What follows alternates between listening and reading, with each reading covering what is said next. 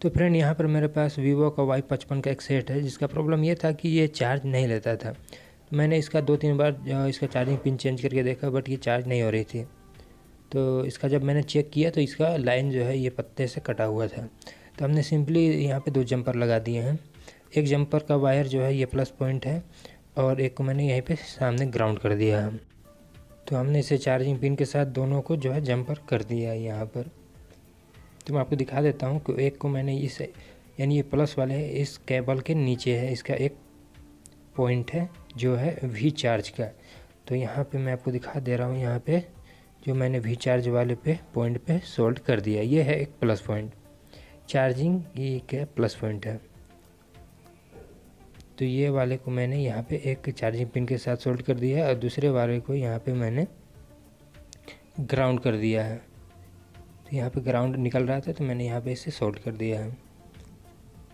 तो मैं आपको एक बार यहाँ पे चेक भी करा देता हूँ मल्टीमीटर के साथ।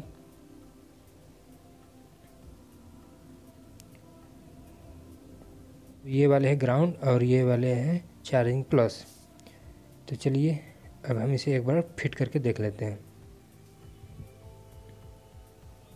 तो यहाँ पे इसकी बैटरी लगा के पहले हम इसे चेक करेंगे कि क्या ये चार्ज हो रही है या नहीं।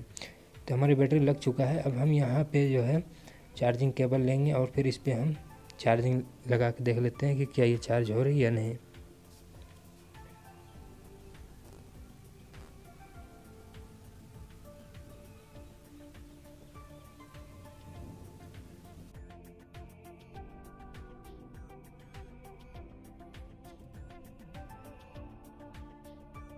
तो यहाँ पे मैंने जो है चार्जिंग केबल इनपुट कर दिया है। और यहाँ पे इंडिकेट भी कर रहा है तो देखते हैं कि चार्ज हो रहा है या नहीं।